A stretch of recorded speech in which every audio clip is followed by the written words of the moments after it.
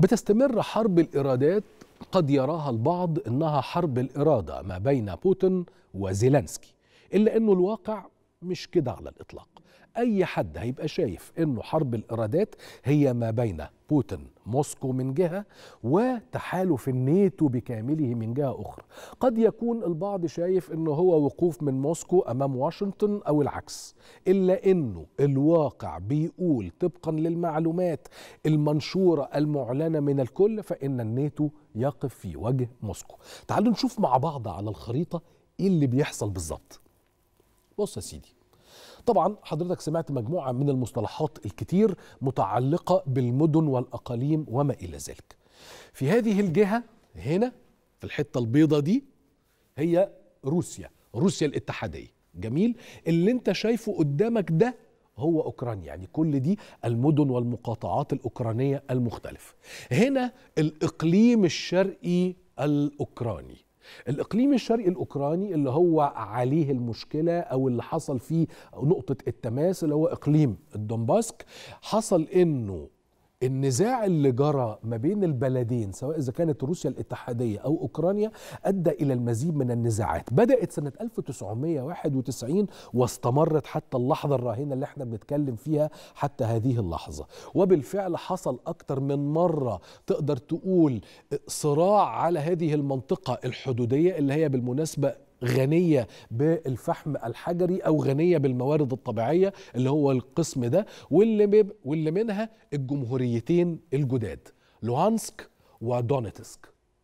دول الجمهوريتين الجداد اللي تم الاعتراف بيهم مؤخرا من طرف واحد ألا وهو الطرف الروسي. موسكو اعترفت بالجمهوريتين دول. دي ودي. ولو تتذكر الكلمة الشهيرة اللي ألقاها فلاديمير بوتين الأسبوع اللي فات واللي قال إن إحنا بنعترف أنا بعترف باستقلالية الجمهوريتين الجديدتين على الحدود الأوكرانية مع روسيا الاتحادية وأدعو الاتحاد المجلس الاتحادي للاعتراف بهذه الدول. بالقطع ده أدى إلى المزيد من الالتهاب في العلاقة ما بين أو التوتر في العلاقة ما بين الدولتين. بس تعالى أخدك لورا برضو حبتين ودي حاجة مهمة جدا. إيه هي؟ زي ما قلت لك إن التوتر سواء إذا كان توتر حدودي في المنطقة دي أو التوتر العسكري في المنطقة دي أدى إلى أكتر من مشكلة. مشكلة زي ما بقول لك بدأت سنة 91 مشكلة كبرى كان حلها إن اتعمل معاهدة مينسك سنة 2015 أو بروتوكول مينسك 2 سنة 2015 واللي كان من المفترض بموجبه أن هذه المنطقة بعمق من أول هنا لحد 50 كيلو متر تكون منطقة منزوعة السلاح وألا يدور فيها أي صراع عسكري على الإطلاق.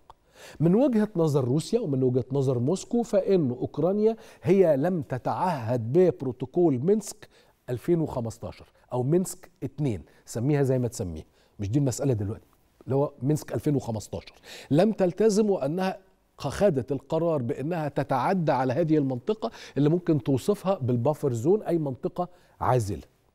طبعا إحنا بنتذكر كويس جدا إنه هذا الصراع استمر حتى طال هذه المنطقة الجنوبية. أنا مش شايف هي فين فين كريميا؟ أرجع أنا بس ظهري كده. كارميا مش باينة على الخريطة هنا. لا لا. هنا دي أوديسا. لا إحنا بنتكلم على آه كارميا أهي. عند إيدي بالظبط وهنا حصل الاستقلال بتاع شبه جزيرة كرميا أو شبه جزيرة القرم وتم التصويت الداخلي أو الاستفتاء الداخلي على الاستقلال ومن ثم شكل من أشكال التبعية أيضا لروسيا الاتحادية. وبالقطع ده اجج للمزيد من التوتر ما بين البلدين. جدير بالذكر إنه خلال هذه المدة من 91 وحتى هذه اللحظة أوكرانيا دائما تلوح بضرورة الانضمام إلى حلف الناتو. حلف الناتو يضم 30 دولة أغلبهم من دول الاتحاد الأوروبي زائد طبعا الولايات المتحدة الأمريكية زي بعض زائد بعض الدول من منطقة الشرق الأوسط أو الشرق الأدنى. إذا حبيت أنك توصفها بذلك طبقا للتسميات الحديثة في مراكز الأبحاث الأمريكية. الشرق الأدنى ده أحدث حاجة بيستخدموها دلوقتي. أوكرانيا قالت إحنا مستعدين للانضمام. الناتو هو كمان أبدى ترحيبه بالانضمام الأوكراني وطالما قالوا إحنا عايزين أوكرانيا.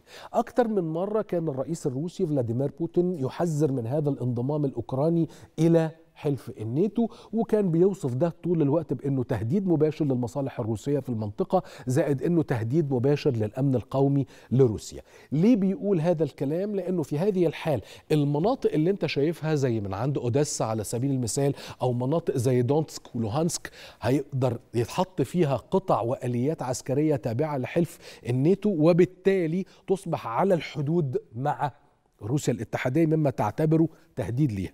المنطقة اللي هنا دي اللي هي بحر أوزوف أيضا كانت من المناطق اللي من الممكن ان تحط فيها قطع بحرية تابعة لحلف الناتو ومن ثم تعتبر تهديدا للوجود أو تهديد للأمن القومي الروسي من جهة أخرى. ركز في إنه بحر أوزوف ده هو الذي يخرج من روسيا أو بالأدق يخرج بروسيا من هذه المنطقة إلى البحر الأسود أي إلى المياه الدافئة كما يطلق عليها دائما سياسيا.